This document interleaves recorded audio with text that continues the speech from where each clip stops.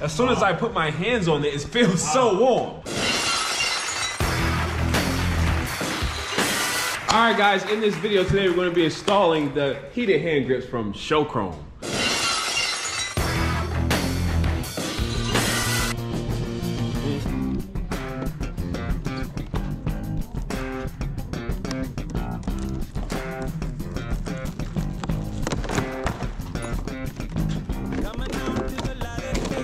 Okay, right away they feel like really good. Like right away they feel really good. You need a razor knife, sandpaper, glue, rubbing alcohol, screwdriver, stripper, needle nose pliers. Removing the handlebars and the end weights on both sides. Uh, cut the OEM grips. It's easy. Remove the clutch grip side with a razor or knife. Peel the old grips off. Remove the throttle side, removing the two Phillips screws.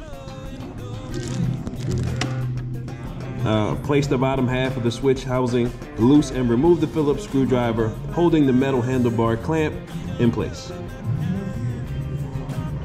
Lift the top half switch housing up using one pair of needle nose pliers. Slide the new grips on the throttle sleeve on the throttle side of the handlebar to connect the two throttle cables. Go to the clutch side and take the piece of sandpaper and clean off any glue, rubber left from the old grips. Test the grips. That's it. What's more? Uh, mark the location of the grips with two pieces of masking tape by placing one of the two pieces of the new grips on the one side of the handlebars. When you slide it back on, you can stop in the same position.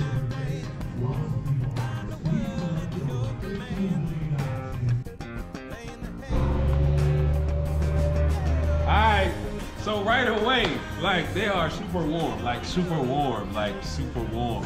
I highly recommend these.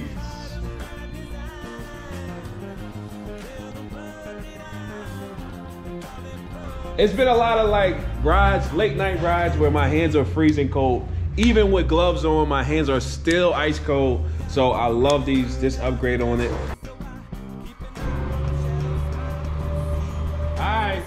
So right away, like they are super warm, like super warm, like super warm. I highly recommend these. And it's affordable, just under 150 bucks. You can't beat that price for the heated hand grips from Show Chrome. Um, they look good, they feel good. They're very warm. I can't really see any negative parts about it. So, super excited to try these, and um, I'll see you guys soon.